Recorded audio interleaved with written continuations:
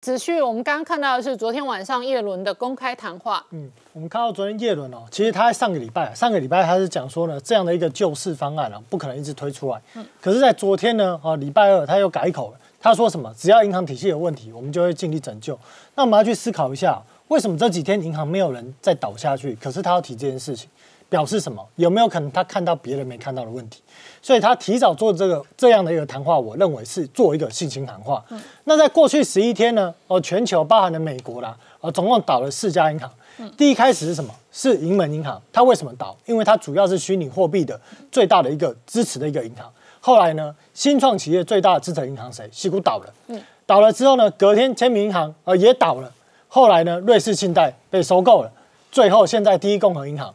是不是我们看到了最近这几天，美国的几间大银行联合拯救第一共和银行，汇了三百亿过去，告诉大家为什么他要汇钱呢？为什么他不向联总会求救？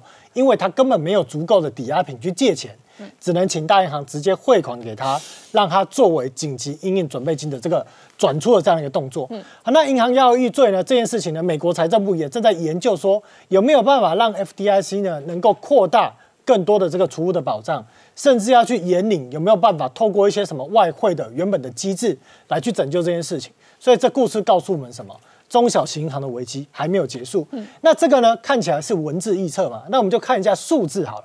好，在联邦住房贷款银行 FHLP、HFLB 啊，它是什么呢？它是美国政府支持的一个机构。那为什么它最近呢要大量的去募款，要去借钱？比方说过去一周它就要借三千多亿。嗯，它是要倒了吗？不是。它其实是发短债借到钱，拆借给中小型银行。哦，对，因为中小型银行去市场不好拆借了，透过它来去帮他借，他可以拿到比较低四点五八趴的利率。哦，比起向联总会直接借四点七五，比起像我们看到的这个联总会推出的救市机制，利率还要低。哦，所以呢，其实他的借钱主要反映是什么？中小型银行的问题还没有结束。那联总会天线窗口呢？我们看到了二零零八年当时使用的峰值大概是在一千一百亿。对。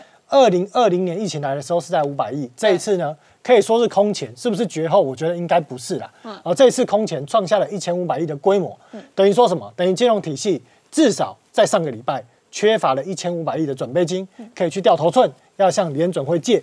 好，那基本上会向联准会天天窗口敲窗户，这其实是一种耻辱。所以我们也看到了联准会的资产负债表。嗯。过去九个多月，好不容易辛辛苦苦缩表五千多亿，嗯，竟然一周它的资产负债表就膨胀三千亿。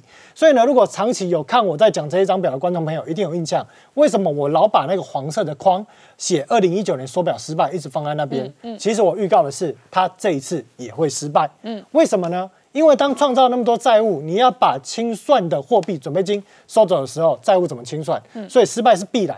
那现在呢？正式失败了吗？我认为只是掰咖，还没有失败，所以就看下下一步联总会的动作。那今天晚上哦，在两年期公债值利率也会产生很大的波动哦，因为今天凌晨两点，联总会将要做利率决策。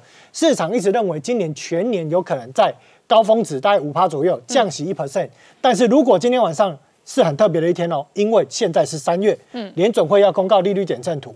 如果没有如预期的下降呢？好，在两年期公债值率跟十年期公债值利率都会产生很大的波动。嗯，那公债值率大波动就导致一个问题了，它造成的不论像是美银的木指数，还是彭博国债流动性指数，都大幅的跳升。嗯，它造成什么现象？我们之前是不是有提到，对冲基金呢？因为它要套利，所以他都开高倍杠杆。对，他辛辛苦苦过去几个月赚的钱，一周就给他赔光。嗯，哦，所以这种利率大波动对于这些所谓的高杠杆的基金冲击非常的大。嗯，所以我们也看到了，在上个礼拜晃这样一下，有一间基金公司呢，一个礼拜就把它过去十年赚的钱全部赔光了。嗯，好，所以接下来在今天晚上，观众朋友除了鲍尔讲什么话之外，要关注今天晚上利率点阵图。之前二零二二年预期的是啊，二零二三年预期五点一，二零二四年预期四点一，有没有提高？这是今天晚上华尔街会关注的焦点。嗯。升息预期，现在市场认为五三月升一码，五月升一码，六月呢不升了。